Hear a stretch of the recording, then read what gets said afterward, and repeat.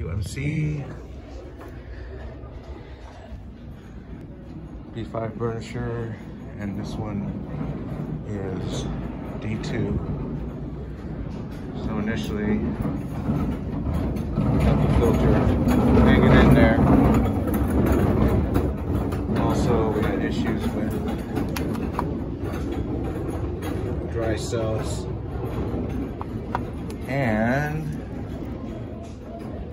bad terminal.